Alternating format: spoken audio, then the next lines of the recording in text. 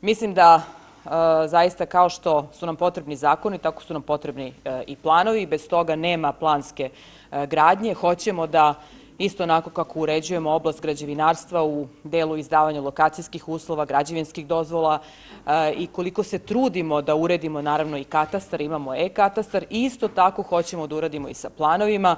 Dakle, hoćemo e-planove, hoćemo naravno uključenost građana u izradu tih planova na sve moguće načine, ali hoćemo da građani lagano lako dođu do svojih lokacijskih uslova i da pokušamo, bar u godinama ispred nas, kada to nije rađeno prethodnih 20, 30 i više godina, da imamo uređenu plansku dokumentaciju samim tim da ono što se zove urbanizam i planiranje bude zaista na prvom mestu.